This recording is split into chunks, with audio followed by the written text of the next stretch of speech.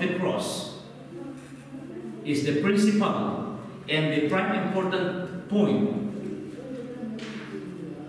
of the whole gospel. The cross is the very important point of the whole gospel, and then the resurrection of Jesus Christ is the assurance of our foundation, of our faith, and security concerning eternity fulfilled by Jesus Christ. So the gospel, the cross is complete. The resurrection is the security that eternity and life eternal is absolutely true because Christ raised from the grave, you shall raise also.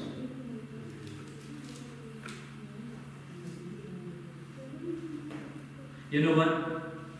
We have around 120 nations or nationalities in Blacktown Council. So we didn't need to go any country in the world.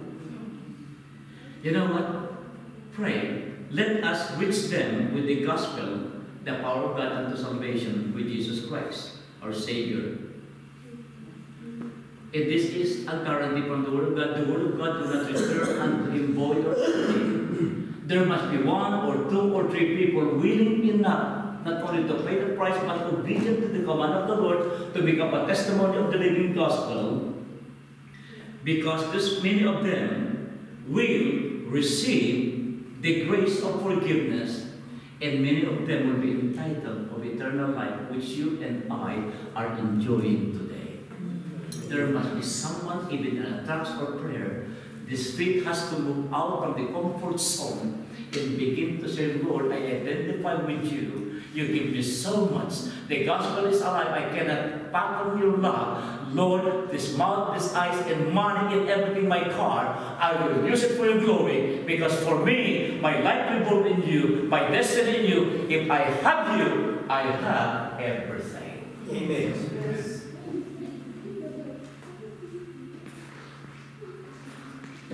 So I'll, I'll, I'll close it here in this wonderful thing. I'll cover the other one this time. You know, Church of God, the power of the gospel, as I'm getting close, produce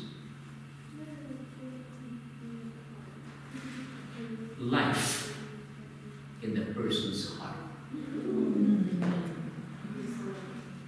Life. There's a man, an actor, Kirk Camerons, of the Growing Pains.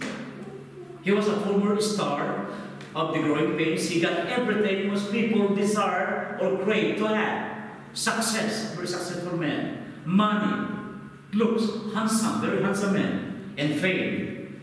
Now, one day come to realize and experience the power of the gospel, none of those things, according to him, can be compared to the joy he found later in knowing Christ and being forgiven and being in the right relationship with God. That was the confession of this man when he found the Lord. You know, to the younger generation, they probably don't know this man. Nick Cruz in New York, a gang, gang leader, violent man in New York, gang leader. And when he kills somebody, and I read some the story, he kills somebody, he is demonized.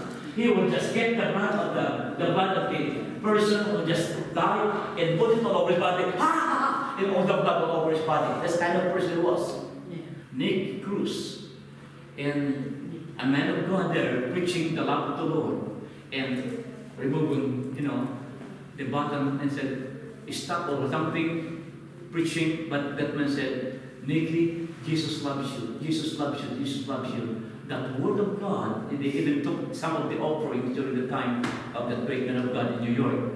That voice of God, Jesus loves you, that's this word, keep ringing, keep ringing, keep ringing his heart.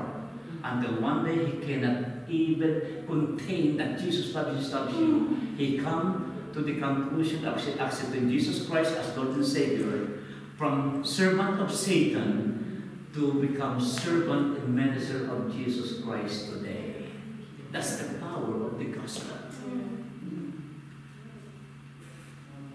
What is this gospel message when applied to you and to all of us? What is this gospel? Number one, the first part, you are not ashamed to share the good news of Jesus Christ anytime, any day, any opportunity. You will give an utmost importance more than any other things to be able to transmit the hope of the world today who are dying hopelessly. You have to open your mouth. There is hope, Jesus Christ.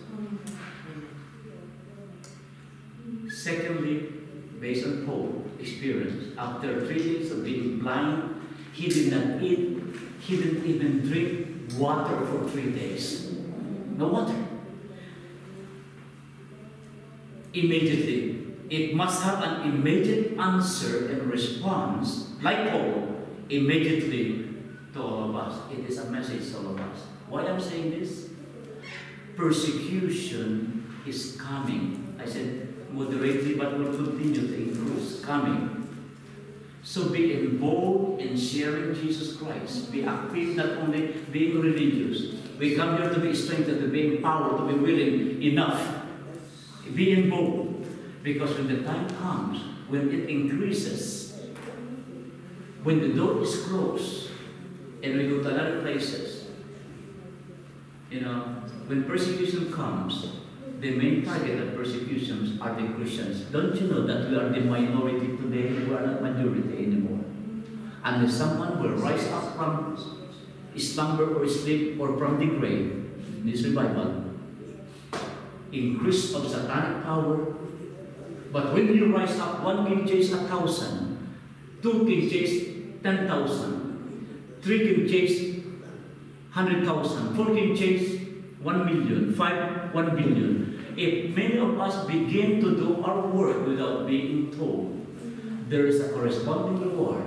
You are supported with a warring angels wherever you go. God will unleash the power of heaven and darkness will flee. In that place, wherever you stand, the presence of God, every place your foot and turn upon, I give it unto you. Lord, I in this place. God's presence will be restored there because of one man or two men or because of the church understanding the life of the gospel that you live by. Amen. Amen. Here. So, question, and very important, there's here, wonderful. This life that you have will continue. Listen to this.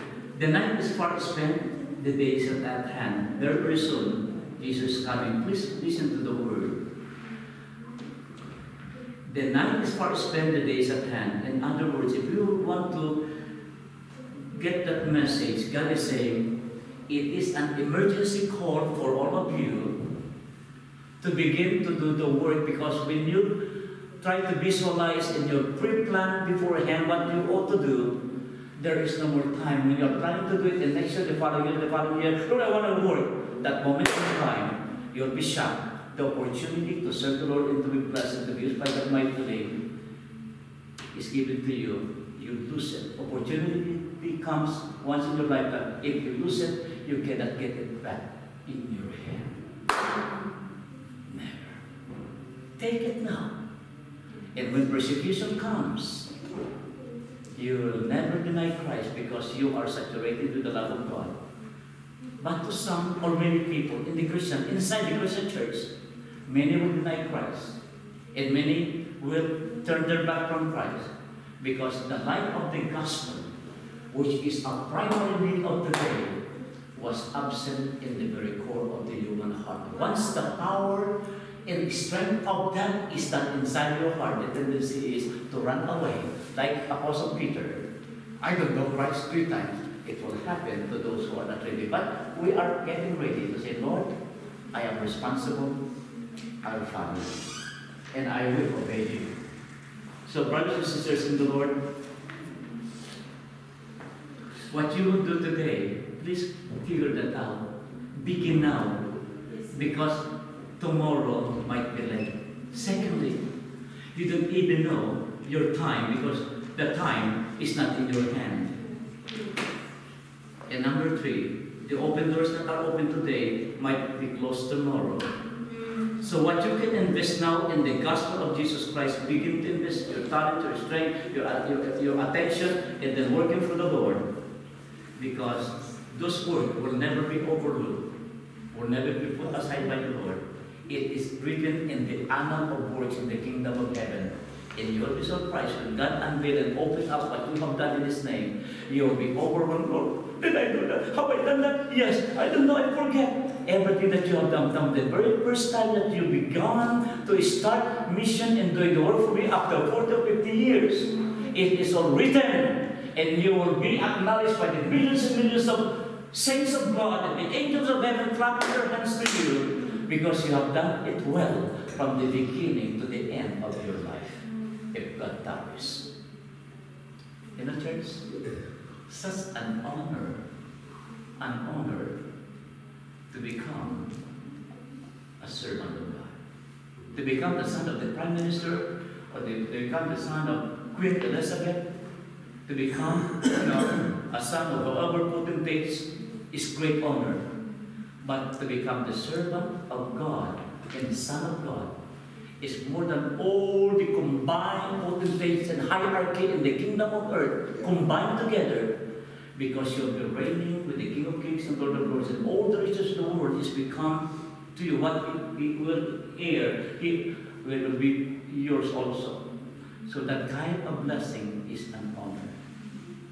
Many years ago, I'm finishing here, I, I say this to you. I was only 22 years old. Only high school graduate.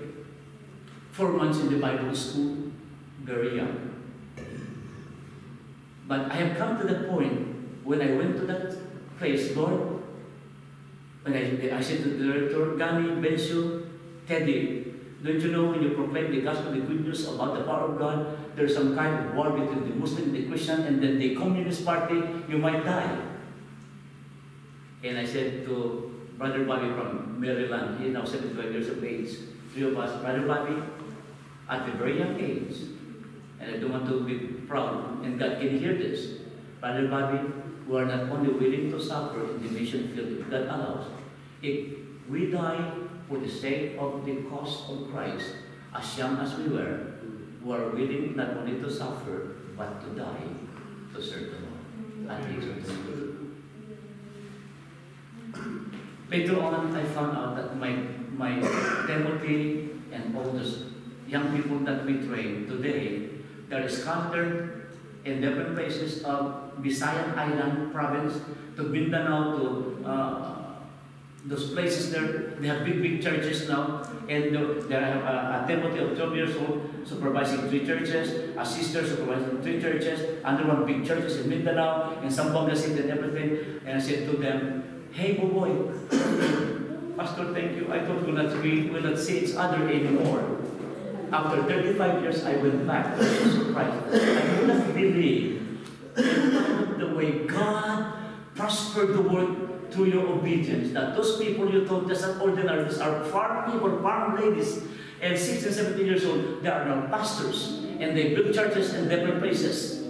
And I said, how about I want to uh, I want uh, I want to see you again. Are you willing to be part of me again as your father in faith?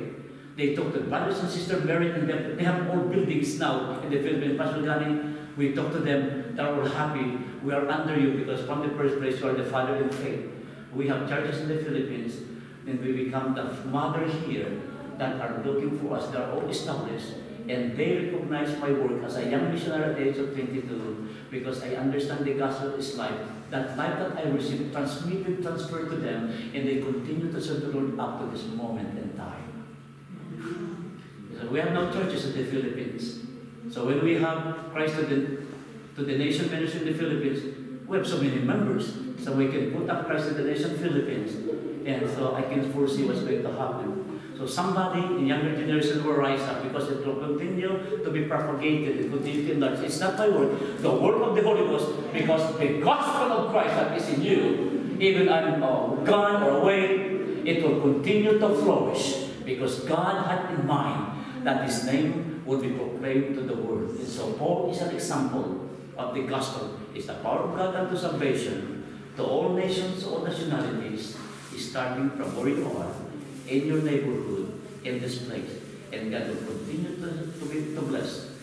Irrespective of all the attacking opposition, the workmen of the Lord will continue to be used mightily because greater is He that is in you than He that is in the world. So the gospel is the light of Jesus Christ inside of you that cannot be contained by the world. And all you have to do is to submit to Him. And I tell you what, many of them will accept Jesus Christ through you as a vocal cord, a transmitter and vehicle of the life of Christ. You are entitled to that. Begin and start today. It's my prayer. In Jesus' name.